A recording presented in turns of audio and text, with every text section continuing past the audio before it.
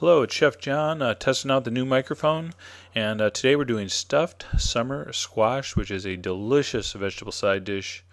And there is my very irregularly shaped summer squash. And those are some sometimes called starburst.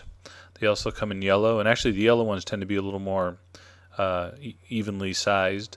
I got some goat cheese, I got some plain breadcrumb, I got some romesco sauce, and as usual, all the amounts and all the details and all the secret uh, info is on the site, so check it out. Now, when you cut these squash, I want you to be careful. Okay, we're going to take off a little bit of the top and bottom. And the outside is much tougher and it's actually kind of brittle, and the inside is very soft. So if you try slicing this in half evenly, it's very difficult to get an even cut.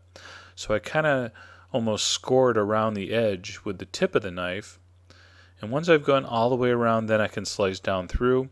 And the size, the diameter isn't what you're going for. Okay, see, those are different diameters, but when I trim them, I'm going to get them the same uh, thickness. That's what's important, so they cook evenly. So I'm going to do a little freeze frame there. I just learned that. So thickness more important than the shape. Then you're going to take a spoon and we're going to scoop them out, but not too much. Just a little bit, okay? Because there's not really any kind of seed, uh, big amount of seeds in there. We just want to make a little bit of a well for our cheese and our sauce. And if you got one of these doodads, one of these melon ballers, uh, you can use that. Really, a spoon will work. The only advantage of the melon baller is it's just sharper. All right, I want you to preheat your oven very hot, 450. And in your baking dish, a couple tablespoons olive oil. And we're going to lay in our scooped out summer squash. Again, I didn't go too deep. You'll see when I do the close up here. Another thing I learned doing close ups. All right. That was the mailman, by the way. Uh, okay, so we're going to season this with salt and pepper. And uh, see, I had a salt pepper mix left over from a steak, and it wasn't enough pepper. So I hit it with the pepper grinder. And then, very important, I want you to crumble your cheese, and I don't want you to spread it. I want you to crumble it in irregular little crumbles.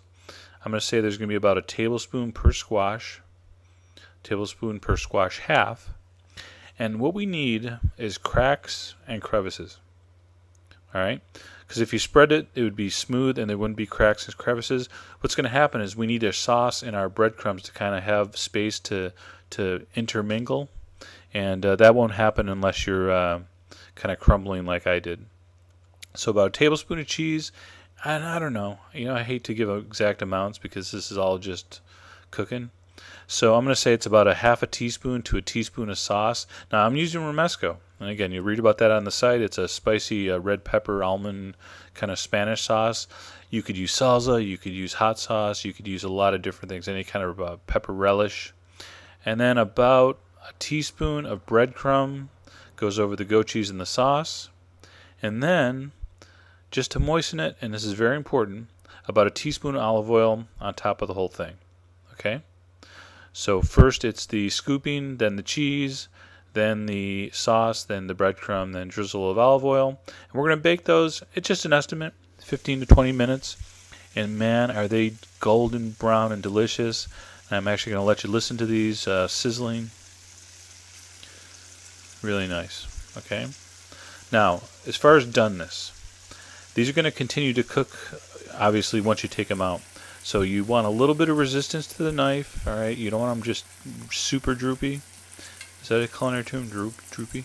Anyway, uh, let me freeze frame there. Once I tested it, see that olive oil? I'm not throwing that away. I'm going to strain that olive oil. That's going to make a vinaigrette to go with whatever dinner I'm cooking here. So you don't throw stuff away. And there is my out of focus finished plate of delicious stuffed summer squash. I do need to get a digital camera so I can take some awesome sharp after uh, filming photos, uh, but not this time. One one step at a time here, and that's it. Go to the site for the ingredients. I hope you enjoy that. And uh, anyway, we're still testing sort of, but uh, we're getting better. So anyway, make that very delicious and uh, enjoy.